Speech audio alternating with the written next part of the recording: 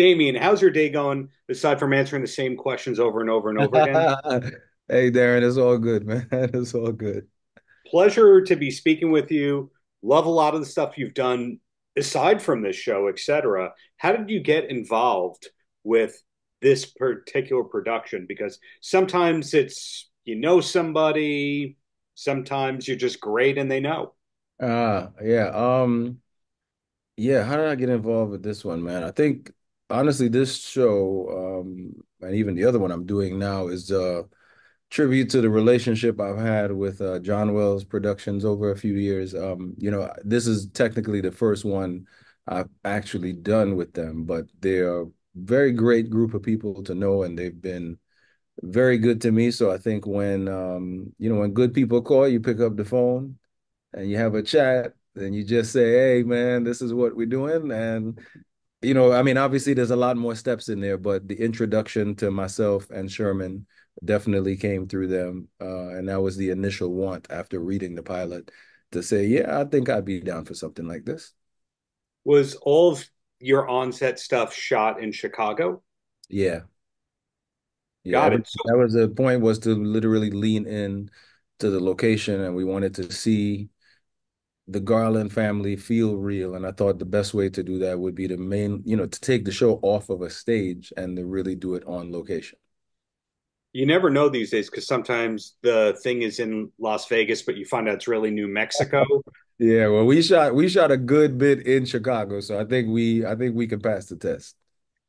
And it also speaks to your talent in that you can't be pigeonholed. So, for example, if we're talking about a step up movie that has nothing to do with winning time, etc., but your background comes initially from my research as a cinematographer. What was Mhm. your jump to really running the show and becoming a director? Was it a particular project? Well, the cinematography came hand in hand with the directing. Um, I'm from Trinidad. That's the murder capital of the Caribbean, unfortunately. And not that I want to give it that type of stigma, but in order to become a filmmaker where I'm from, you know, you need these things, right? You need a cinematographer, you need this, you need that.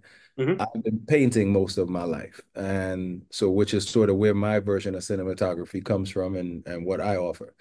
But I didn't have money, simply put, to hire all of these people. So what did I have to do? I had to get good at eight different things.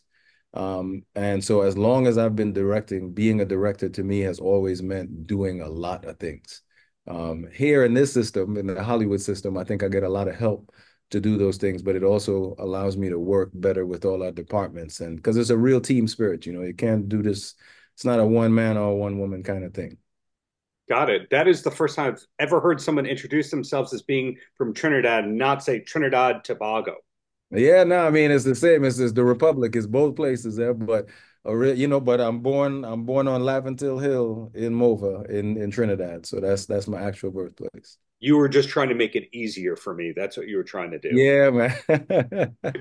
And uh, are we allowed to know what's next, or is it Emperor forever and ever, and that's you know the biggest project, and uh, that's it?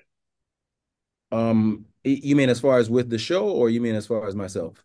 As far as yourself, because you know these days, uh, usually it's not the same director for every episode, and Right. we know that somebody like yourself is very creative and presumably creating something at the same time as Oh directing yeah. something I mean, right now the one I can talk about, we are shooting um we're shooting The Pit, uh, which is um I don't want to say it's the ER reboot, but you know, John Wells did ER, now he's making The Pit, and it's a really fun and interesting medical drama. It's not like all of the other ones. So hopefully the similarity you will see, as you said, I can't be pigeonholed. I'm always trying to find what's the new thing, right? What is exciting? That is my catnip as a filmmaker.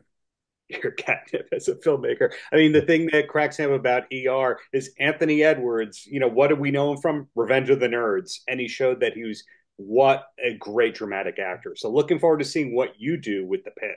Thank you, man. Seriously, thank you, Darren. Well, congrats on this season. Looking forward to your future projects, man. Thanks for your time. Yeah, man. Check out Emperor uh, this Sunday, the 14th at 10 o'clock. Outrocast.